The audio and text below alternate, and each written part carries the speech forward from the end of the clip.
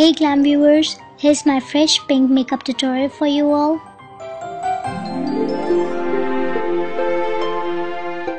Start off by priming your eyelids.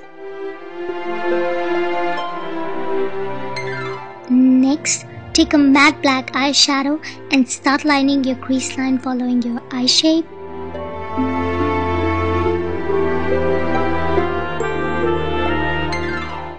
Take a bright pink eyeshadow and start applying it above the created crease line as shown.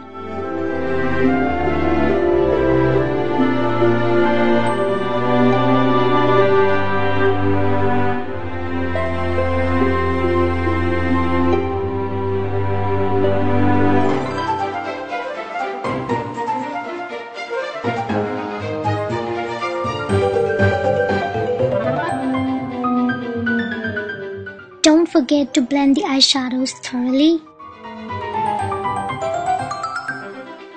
Darken up the crease line a bit by applying the same black eyeshadow.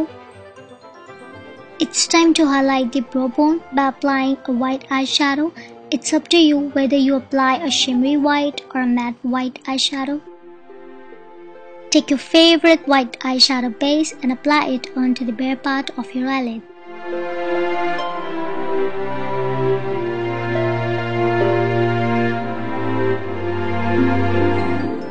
Now, by taking a light pink eyeshadow, apply it onto the outer half of your eyelid.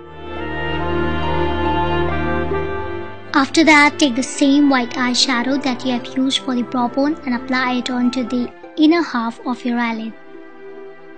Blend both the eyeshadows well. Next, take a slightly darker pink shade and line your lower lash line leaving the inner part.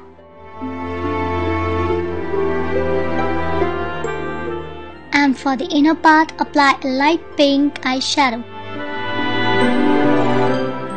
Then take the same black eyeshadow and apply it onto the outer half of your lower lash line. Line your waterline with any white eyeliner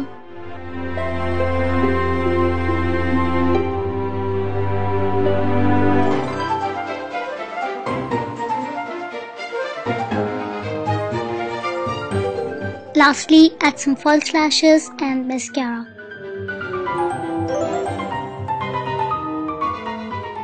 So here's the final look. I hope you guys enjoyed the tutorial.